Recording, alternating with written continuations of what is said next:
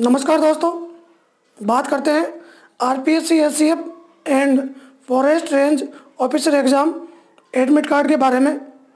देखिए दोस्तों, जस्ट एक घंटे पहले, यानी 12 फरवरी 2021 को, लगभग दो बजे के आसपास एडमिट कार्ड जारी कर दिए गए हैं। देखिए इसकी ऑफिशियल न्यूज़ है। आर पी ने जारी की S C F and forest ranger अधिकारी के एडमिट कार्ड तो आपको किस प्रकार डाउनलोड करना है एडमिट कार्ड? देखिए, ये इसकी ऑफिशियल वेबसाइट है। यहाँ पर इम्पोर्टेंट लिंक्स लिखा हुआ है। तो यहाँ न्यू ऑप्शन आ रखा है एक। Admit card for A C F and forest range officer grade first तो यहाँ आप क्लिक करोगे, या S S O I D से भी आप एडमिट कार्ड निकाल सकते हो। ये देखिए, एक प्रेस नोट आ रखा है। इस प्रेस नोट को पढ़ लिएगा आप। और क्या प्रेस नोट है? ये देखिए। 12 फरवरी 2021 राजस्थान लोक सेवा आयोग, अजमेर प्रेस नोट तो दोस्तों टोटल चार पेपर होंगे। 18 फरवरी को तो सबके सामान्य पेपर है कंपलसरी पेपर है। फ़र्स्ट पेपर जीके का है और सेकंड पेपर है वो इंग्लिश का है। तो दोस्तों, आपको पता होगा टाइम टेबल देखिए, मैं आपको एडमिट कार्ड बता रहा हूँ। ये देखिए जैसे सेंटर है, संभाग स्तर पे है Ajmer, Rajasthan public service commission, admission card.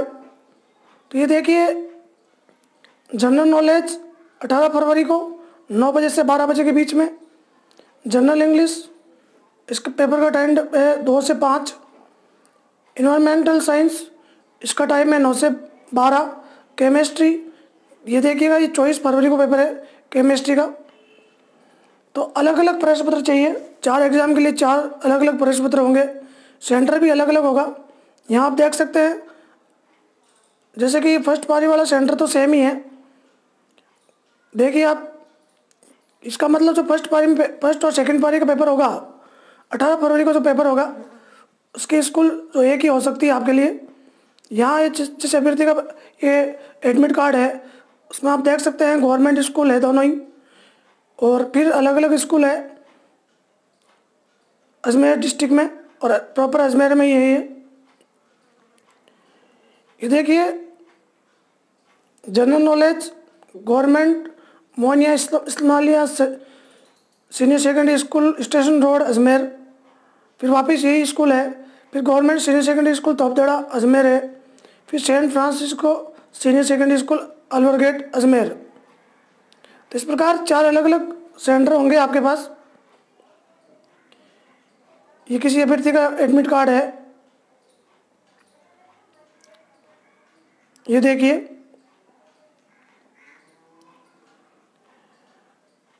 और यहाँ कुछ सूचना दे रखी है। ये देखिए, इसमें यहाँ लिखा हुआ है साफ़ साफ़ तो इसको अच्छे से आप पढ़ सकते हैं। और एडिशनल आइडेंटिटी प्रूफ आपको ले जाना है। जो भी ले जा रहे हो, उसको यहाँ आपको लिखना पड़ेगा। जैसे आधार कार्ड है, लाइसेंस है, परिचय पत्र है अपना। और ये इसका लिंक आ रखा है यहाँ पर।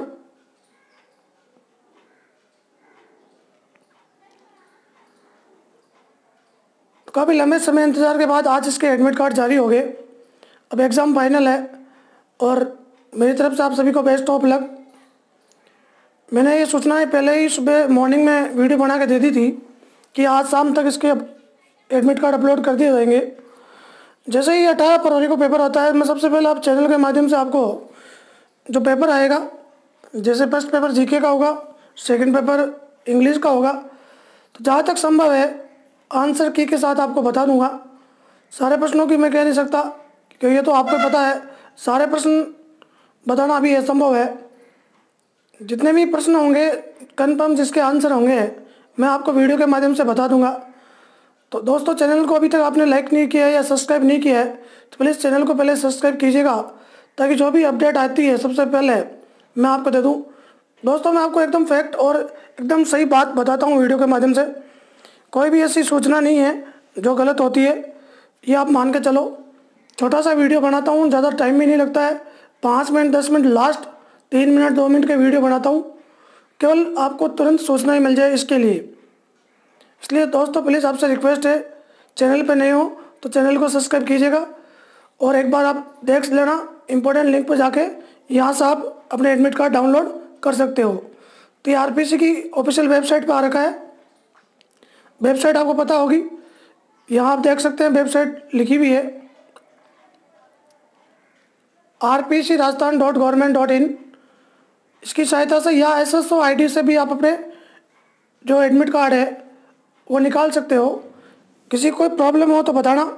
बाकी कोई दिक्कत नहीं है। आपको एप्लीकेशन नंबर याद होना चाहिए और आपके डीओ भी याद होनी चाहिए।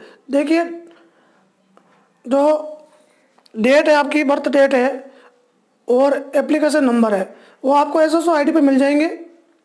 उसके माध्यम से आप निकाल सकते हैं। जो कोई भी फॉर्म अपन भरते हैं वो S S O I T पर उपलब्ध रहता है। यदि आप भूल गए एप्लीकेशन नंबर तो वहाँ जाके आप डाउनलोड करके वापस देख सकते हैं।